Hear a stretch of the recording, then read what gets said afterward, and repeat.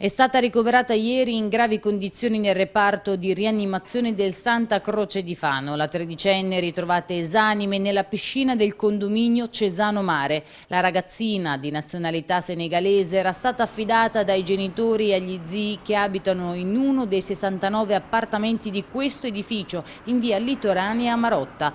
Lo zio, dopo aver pregato in occasione del Ramadan, non vedendo più la nipote, si è affacciato fuori verso la piscina e lei era lì, ma immobile e affaccia all'ingiù. Allertato al 118, dopo i primi soccorsi è stata trasportata dall'ambulanza all'ospedale fanese.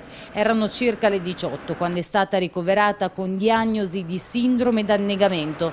Infatti pare che dopo un tuffo nell'acqua alta il suo corpo esile non l'abbia aiutata nel risalire a galla e a raggiungere il bordo della piscina. A fare il punto delle sue condizioni cliniche è stato Augusto Sanchioni, direttore facente funzioni dell'unità di anestesia e rianimazione. La tredicenne oggi era sedata, intubata e in ventilazione controllata. I parametri emodinamici sono stabili, la diuresi si mantiene valida ma la prognosi rimane riservata. Ad eseguire gli accertamenti e a fare un sopralluogo sono stati i carabinieri della stazione di Marotta che hanno compilato una relazione sia per la procura ordinaria che per la procura dei minori.